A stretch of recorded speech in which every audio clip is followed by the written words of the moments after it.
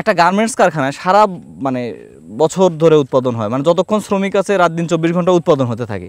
আপনারটাও কি একটা কারখানা বলা যেতে পারে? হ্যাঁ আমারটা কারখানা অবশ্যই। আমরা যদি কৃষকরা যদি আপনার এই খাদ্য যোগান না দিই আপনার কারখানার মানুষ তো খাবার খাওয়ার পরেই তো শক্তি বাড়ে তারপরে তো কাজ করবে।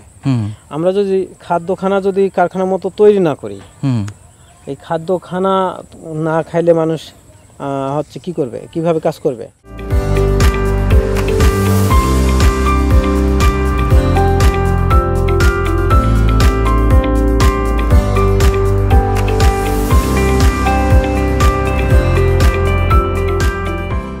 সৌজন্যে সিনজেন্টা বাংলাদেশ।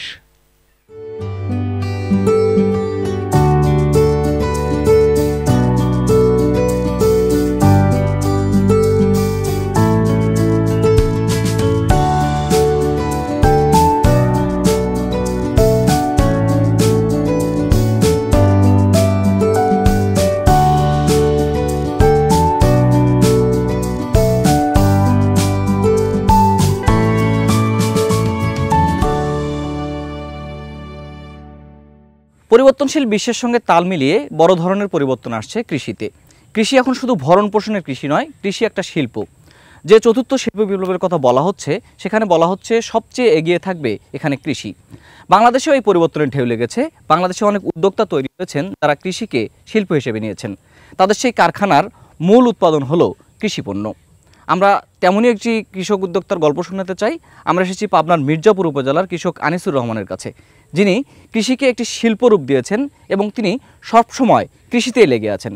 ইতিমধ্যে তার স্বীকৃতিস্বরূপ জাতীয় বঙ্গবন্ধু কৃষি পুরস্কার সহ জাতীয় অনেক পুরস্কার পেয়েছেন তিনি। আমরা সেই আনিসুর রহমানের গল্প আজকের কৃষি ও প্রযুক্তি অনুষ্ঠানের মাধ্যমে তুলে ধরতে চাই। পুরোটা সময় জুড়ে আপনাদের সঙ্গে আছি আমি ফেরদৌস রহমান।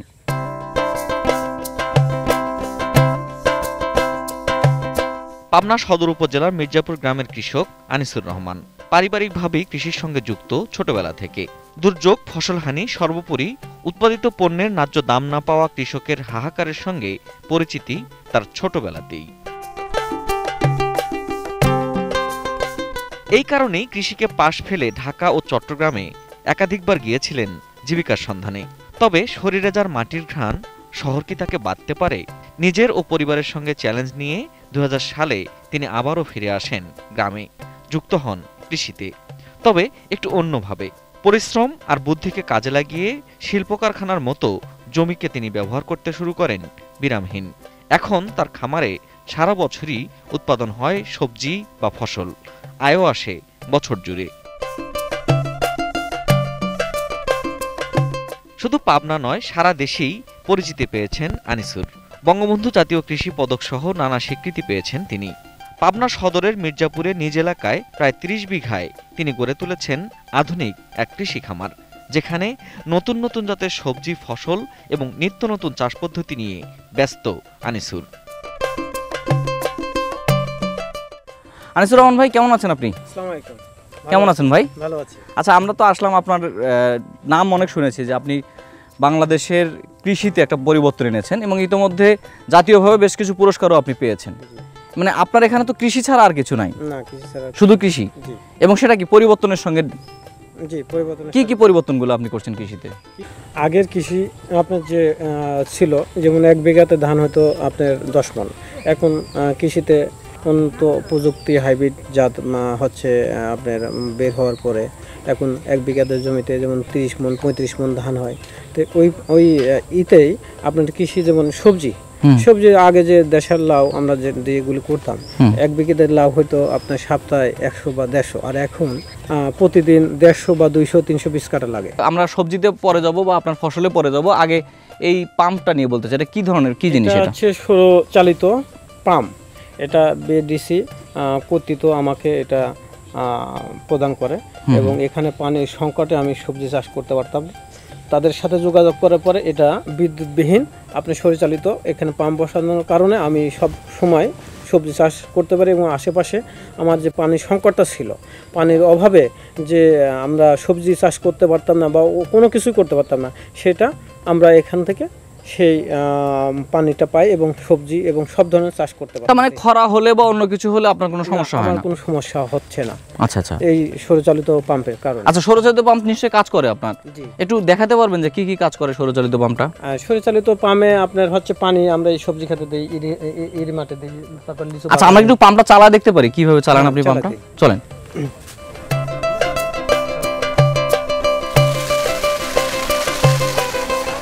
তার মানে আপনি সুইচ দিলেন এই ট্যাঙ্কিতে পানি উঠল মোটরের মাধ্যমে। হ্যাঁ এটা আমি টাঙ্কিতেও উঠাইতে পারি।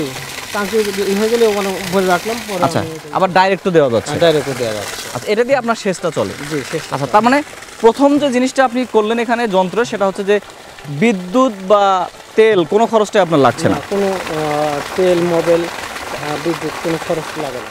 মানে একবার করছেন তো চলবে? একবার করতে চলবে। তাহলে এটাতে কি খরচ কি জিরো এটা বলতে পারি? এটা বাৎসরিক আপনার বিআরডিসিকে আমার এখন বর্তমান তিন হাজার টাকা বিল দিতে হয় প্রতি বছর। প্রতি বছর? তাও তো অনেক কম। আপনি যদি এটা আপনি পুরোটাই শেষ দিতে যাইতেন তাহলে কত টাকা লাগতো? আমার প্রতিটা শেষে এক দিকে এক হাজার টাকা লাগে। আচ্ছা সেখানে বছরে তিন হাজার টাকা? বছরে তিন হাজার টাকা। মানে খুবই নগণ্য। হ্যাঁ নগণ্য। আমার আমার এক বিঘা এবং আশেপাশে আরও দশ পনেরো বিশ থেকে এইটার সাহায্যে তিন বিঘার মতো এখানে আবার করি আমি পানি নিজেও ব্যবহার করি এবং অন্যকে দিই কিছু টাকার মাধ্যমে দিই। তার মানে এই যে আমরা বিশাল পরিমাণে তেল খরচ করছি বিশাল পরিমাণে বিদ্যুৎ খরচ করছি সেচের পিছনে সৌরচালিত পাম্প এটার বিকল্প হতে পারে। বিকল্প এবং আপনি তেল খরচ করতেছেন আপনার এখন তো বর্তমানে এই বছরে লেয়ার নাই। আপনি তেল দিলেও সেলো মেশিনে আপনি পানি উঠাইতে পারেন না ওই হিসাবে আমাদের ওইটা পোষাবে এই মাচাটা এখানে আপনারা কি করেছেন? ধুন্দুল। ধুন্দুল করেছি। আচ্ছা। এটা এটা এটা কি মানে এই ধুন্দলটা কি গ্রীষ্ম মানে এই এই সময় তো হয়? এটা ওই লার মতো হাইব্রিড জাত। হুম এটা সারা বছরই হয়। সারা বছরই হয়। আচ্ছা এই ধুন্দল থেকে কি কি অবস্থা আসে? ধুন্দল? জাংলা উঠার আগে ভালোই বেচা কেনা হয়েছে। পঁচিশ টাকা বাইশ টাকা করে বেচে এখন দশ টাকা থেকে পনেরো টাকার মধ্যে আপ ডাউন করতেছে আর কি হ্যাঁ। যেমন আমরা বেডটা করছি এইভাবে বেড করে আপনার দেখা যাচ্ছে যে এই জমিতে ওই গাছ জাংলা উঠার আগে আমি একটা বেড করে ফেলছেন। বেড করে ধুনিয়ে বা লেটুস পাতা আমি নিয়ে ফেলাইছি ধরার আগেই। আচ্ছা তার মানে এটা একটা আপনার বাড়তি আসছে? যে এটা সাথী ফসল হিসাবে দেখ- এটার যে মাছা খরচ বা লেবার খরচ আহ, আহ, আপনার চলে আসে। তার মানে পারি। পুরো ধুন্দলটাই আপনার লাভ? জি। আপনি যে এখানে রাশিয়ান যারা আসছে পারমাণবিক বিদ্যুৎ কেন্দ্রের কাজে তাদেরকে টার্গেট করে কিছু প্রোডাক্ট করেন। মানে এইটা আপনার মাথায় কীভাবে ঢুকলো যে তাদেরকেও খাওয়ানো সম্ভব? খাওয়ানো সম্ভব? আমি বলি এই যে যেমন লাউ আমি এত টাকা খরচ করে দেখা যাচ্ছে যে আপনি করলাম এখানে একটা লাউ পঁচিশ টাকা বিক্রি হচ্ছে। আর আমি যদি এই টাকাই খরচ করি সম্মাম করি বা অন্য ফল বিদেশি যেটা তরমুজ হানিডু ওইটা দেখা যাচ্ছে যে আপনার এটা দ্বিগুণ বেনিফিট এটার দ্বিগুণ বেনিফিট হয় সেজন্য ওইটাই আমি চিন্তা ভাবনা করে রাশিয়ার যেহেতু আছে আগেও করতাম ঢাকা বাজারজাত করতাম পরে ইনারা আসার পরে আমি ওইটা আরও বেশি করি। এটা হচ্ছে বাংসিং। এইটা পেঁয়াজ অরিজিনাল পেঁয়াজের মতো গাছ কিন্তু আচ্ছা, এটা আচ্ছা। পেঁয়াজ হবে না। মানে এটা এইভাবেই কেটে? হ্যাঁ এটা এইভাবেই রাশিয়ার লোকজন আপনার সালাদ খায়। মানে এটা সালাদ আকারে। এটা এটার নাম কি? বাঞ্চিং জি। একটা গার্মেন্টস কারখানায় সারা মানে বছর ধরে উৎপাদন হয়। মানে যতক্ষণ শ্রমিক আছে রাত দিন চব্বিশ ঘণ্টা উৎপাদন হতে থাকে। আপনারটাও কি একটা কারখানা বলা যেতে পারে? হ্যাঁ আমারটা কারখানা অবশ্যই।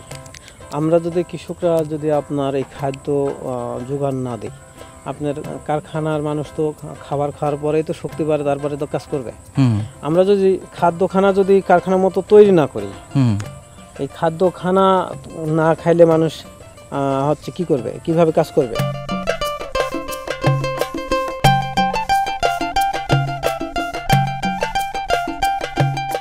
আমরা চৈত বৈশাখ মাসে এই সিম করি। বৈশাখ মাসে? বৈশাখ মাসে বীজ রোপণ করি। আচ্ছা। আর রোপণ করার ঠিক পঁয়তাল্লিশ পঞ্চাশ দিনের মাধ্যমে মধ্যেই ফুল ফল চলে আসে। এটা টিকবে কতদিন এই সিমটা? এটা থেকে আট থেকে নয় মাস। আট থেকে নয় মাস? মানে এই এক গাছেই? এই এক গাছে এখন তো শুরু হবে শীতের লাস্ট পর্যন্ত ওই আগামী চৈত মাসে কাটা হবে। এটা সিজনে কেমন দাম পান? এবং অফ সিজনে যখন আপনি প্রথম হারভেস্টটা করবেন প্রথম হারভেস্ট গত বছর দেড়শো ছিল একশো পঞ্চাশ টাকা কেজি ছিল।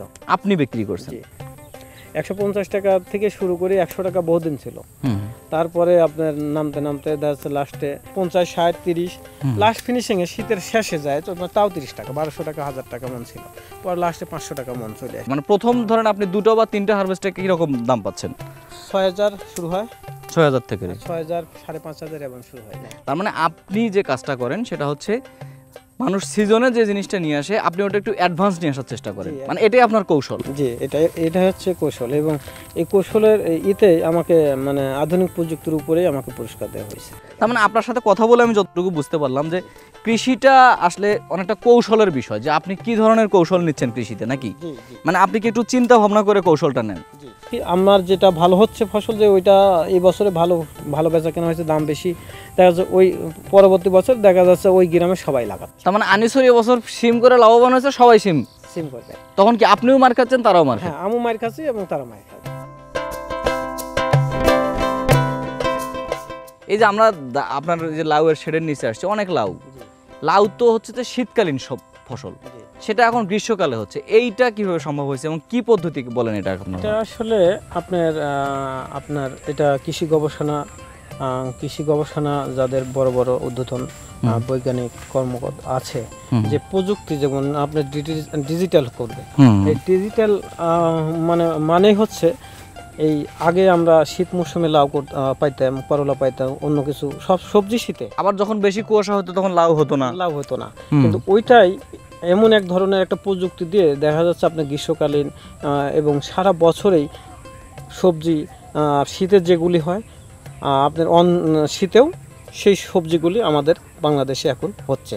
এখন আপনি কেমন বেচতেছেন? এখন পঁচিশ টাকা বাজার। তার মানে দশ টাকা আপনার দশ টাকা বেনিফিট হচ্ছে আমার। দশ টাকা বেনিফিট হচ্ছে। তার মানে একশো লাও যদি হয় আপনার প্রতি সপ্তাহে তার মানে ওখান থেকে আপনার কত আসতেছে? প্রায় দশ হাজার টাকা। মাসে দশ হাজার টাকা আসতেছে।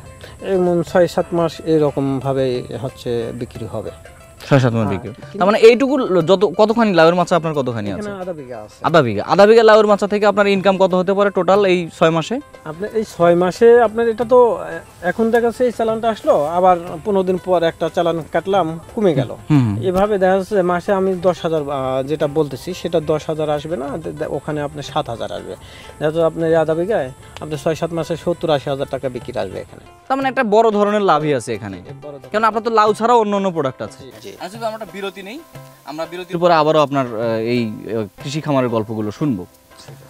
দর্শক আমরা কথা বলছি সফল কৃষক আনিসুর রহমানের সঙ্গে যিনি কৃষিকে একটা শিল্প রূপ দিয়েছেন একটা শিল্প কারখানার মতোই তার কৃষি চলছে। আনিসুর রহমানের সাথে আরও কথা বলব আমরা। একটা ছোট্ট বিরতি নিচ্ছি ফিরছি কিছুক্ষণ পর। সৌজন্যে সিনজেন্টা বাংলাদেশ।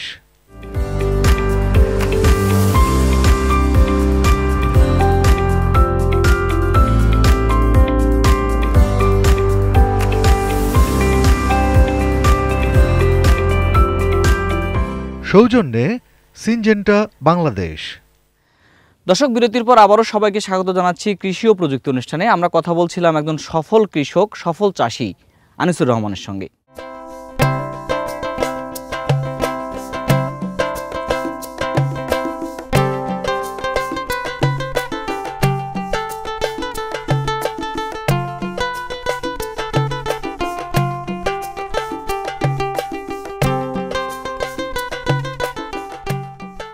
আনিসুর ভাই আমরা এখানে পেঁপে দেখতে পাচ্ছি। আর পেঁপের পাশেই একটা মাচা এবং এটা বিদেশি একটা ফল আঙ্গুর। আচ্ছা আঙ্গুর এটা কি জাতের আঙ্গুর? একটু আঙ্গুরটাকে বুঝায় বলেন। আঙ্গুর তো আসলে আমরা দেখছি যে আঙ্গুর তো বিদেশ থেকে নিয়ে এসে আমরা খাই এবং খুবই উচ্চ দামে বিক্রি হয়। বিশেষ করে এইটা কি আঙ্গুর? এটা কি কালো নাকি সাদাটা? এটা হচ্ছে লাল। লাল আঙ্গুর। জি। বাজারে দেখা যাচ্ছে আপনি বড় বড় একটা গোল আঙ্গুর পাওয়া যায়। আচ্ছা গোল যে লাল আঙ্গুরটা। হ্যাঁ হ্যাঁ। ওইটাই। তো অন্য একজন নিয়ে আপনার বাইরে থেকে বীজ নিয়ে আসছিল। বীজ নিয়ে এসে চারা দিয়ে উনি লাগানোর পরে হয় তারপরে উনি আবার হচ্ছে কলম দেয়। ওখান থেকে আমি কালেকশন করে যে দেখি অল্প সামান্য জমিতে এটা করি যদি আপনার রেজাল্ট হয়।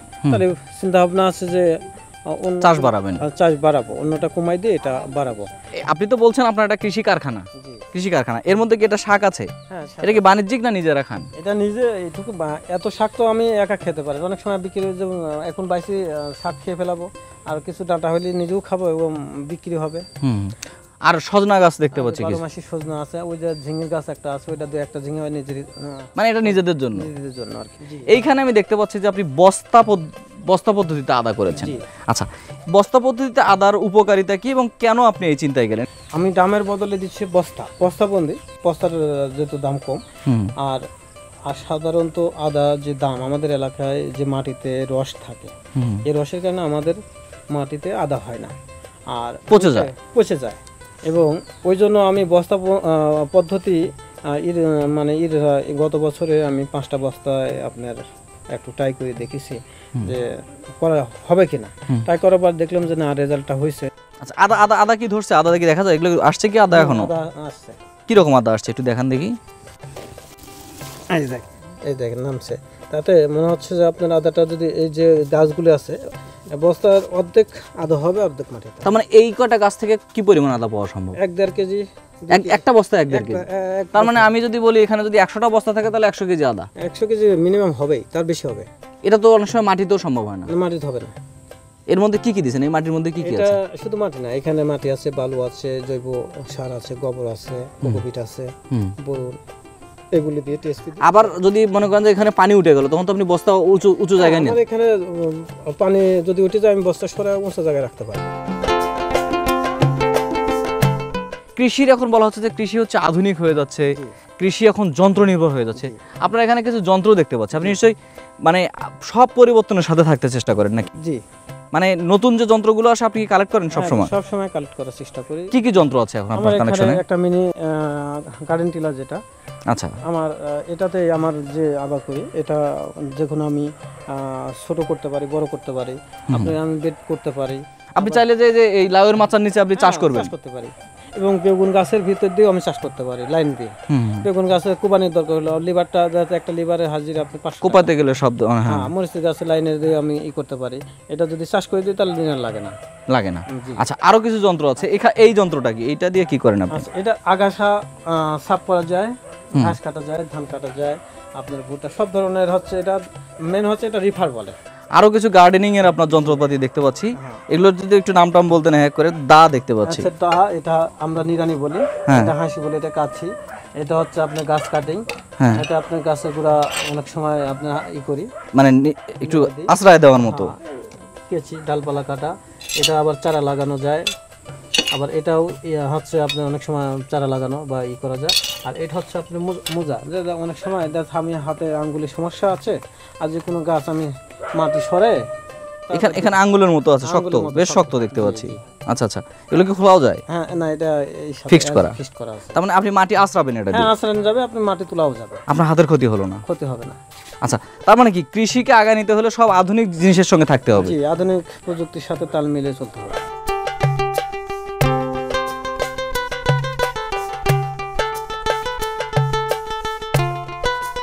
আপনার তো কারখানা কারখানার কোন অংশ এটা? এটা কারখানার দ্বিতীয় চ্যাপ্টার এটা শুরু করতেছে। মানে আমরা মূলত যেটা আধুনিক প্রযুক্তি আমরা খালি মুখে বলি না নিজেরা হাতে প্রয়োগ করে এবং কর্ম দেখা দেখাই দিচ্ছি যে কৃষি আম, কৃষি আমরা প্রযুক্তি দিয়ে চারা উৎপাদন করে। আচ্ছা এখানে ছোট ছোট ট্রে দেখতে পাচ্ছি। এই যে ট্রের মধ্যে। আচ্ছা কি কি দিয়েছেন এগুলো ট্রেতে আপনি? তরমুজের চারা। তরমুজের চারা আচ্ছা। এটা হচ্ছে তরমুজের চারা। এই চারাটা এখানে যখন আপনার প্রাপ্তবয়স্ক হবে হ্যাঁ। তখন এটা আমি যদি উঠাই হ্যাঁ। এটা টপ আকারে এইভাবে উঠে আসবে। মানে এটা পুরো চারাটা উঠে যে পুরো চারাটা এটা তার মানে কি আপনার চারা মরে যাওয়ার কোনো মরে যাওয়ার সম্ভাবনা নাই। এটা হচ্ছে দেশি পান। আগে আমাদের যে বর্তমান যে বাজারে যে পানটা আসার আগে এই পানটাই আমাদের দেশে প্রচলিত ছিল। কিন্তু এটা হাইব্রিড জাত আসার কারণে এটা লেস হয়ে। এটা ফলনটা কম? ফলনটা কম। আচ্ছা। এবং পানটা ছোট। কিন্তু ছোট হলেও এটা দেশাল পান এটা খুব মুখে রুচি এবং স্বাদ লাগে। এবং নিজের চাহিদাটা পূরণ জন্য এটার মধ্যে একটা ভেষজ গুণ আছে মনে হয়। ভেষজ গুণ আছে। আমার পুরো এই পাশে কি আছে? কচু? কচু। কচু। আচ্ছা আমরা কচু দেখি একটু।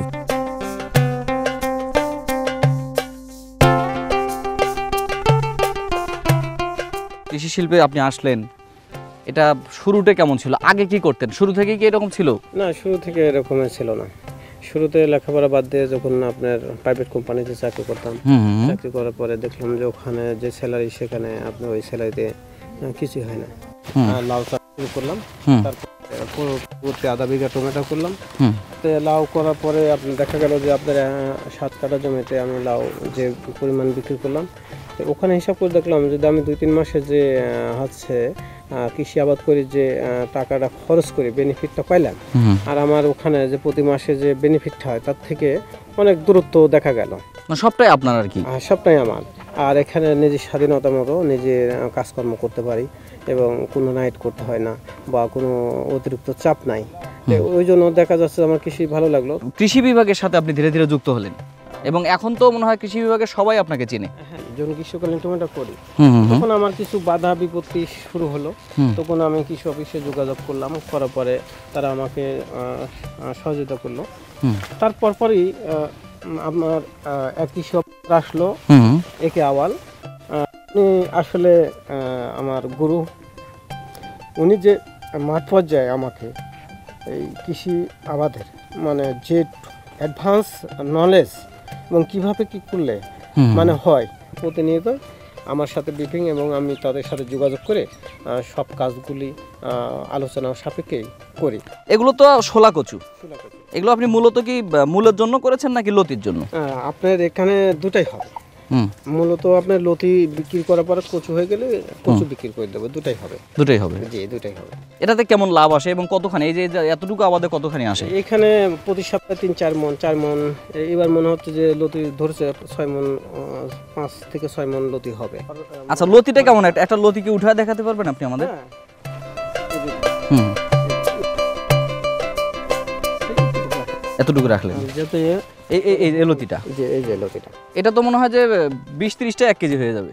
বিষটা লাগবে না। এটা পঞ্চাশ গ্রামের উপরে আছে। আচ্ছা আচ্ছা। আমি চারবার যে হচ্ছে তাওয়া করে করলা দিয়ে বা সিম বা লাউ লাউ করব আর কি এটার উপরে মাছা থাকবে। এটা মাছার নিচেও কচু হবে। তার মানে এই জমিটা আর বসে থাকবে না? বসে থাকবে না। যে একটা সময় ছিল যে মানুষ না খেয়ে থাকতো। এখন ধরেন লাউ শিম বছরব্যাপী একদম বিশাল সবজি বিশাল পরিমাণে ফলের আবাদ হচ্ছে। এগুলো নিশ্চয়ই আপনাদের মতো কৃষকের হাত দিয়ে আসছে। আপনি কেমন বাংলাদেশ দেখতে চান? আপনার চোখে?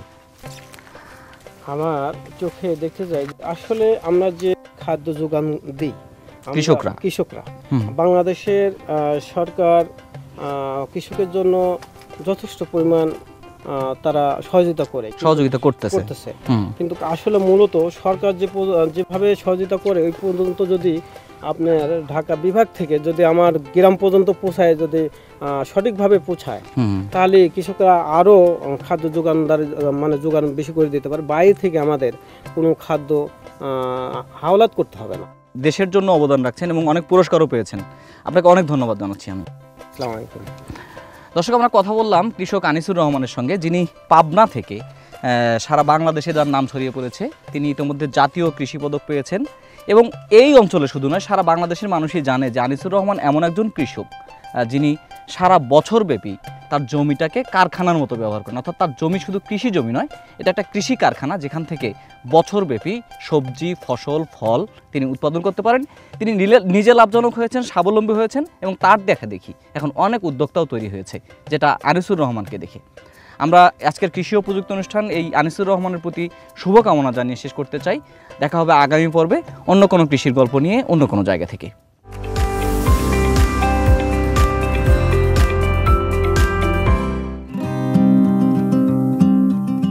এ সপ্তাহের কৃষি আবহাওয়া পূর্বাভাসে বলা হয়েছে, সপ্তাহের প্রথমার্ধে সারা দেশে হালকা থেকে মাঝারি ধরনের বৃষ্টিপাত অব্যাহত থাকবে। কোথাও কোথাও ভারী বর্ষণ হতে পারে। সপ্তাহের শেষ দিকে উত্তর বঙ্গোপসাগরে উড়িষ্যার কাছে ঘূর্ণিবায়ুর আবর্তন সৃষ্টি হওয়ার সম্ভাবনা রয়েছে। এর প্রভাবে সপ্তাহের শেষ ভাগে বৃষ্টিপাত বাড়বে। চট্টগ্রাম, সিলেট এবং দেশের দক্ষিণাঞ্চলে ভারী বর্ষণ হতে পারে। তাপমাত্রা তিরিশ থেকে চৌত্রিশ ডিগ্রি সেলসিয়াসের মধ্যে থাকবে। তবে কোথাও কোথাও তা ছত্রিশ ডিগ্রি সেলসিয়াস পর্যন্ত বাড়তে পারে।